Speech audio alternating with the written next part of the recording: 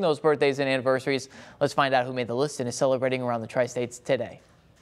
August is almost over, but this birthday list is certainly one of the best of the month. Topping it is a special 100 years for Ruth Duncan. Ruth reached the century mark. Gotta love it. Happy birthday to you. Also on our list is Mercedes Kempker, Stacy Ramsey, Mike Johnson, Michelle Cravens. Happy birthday to Ella Tysinger.